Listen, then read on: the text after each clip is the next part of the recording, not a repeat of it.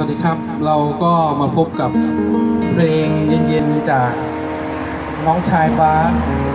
ที่หน้าร้านสุปานีปากทางพงเตานี่นะครับก็วันนี้ก็เป็นวันแรกก็ มาให้กำลังใจกันได้นะคะมาดูแลมาให้กำลังใจน้องหัวใจน้องบาสกันได้ ที่หน้าร้านสุปานีก็เชิญชมเชิญฟังกันได้เลยครับจัดเลยน้อง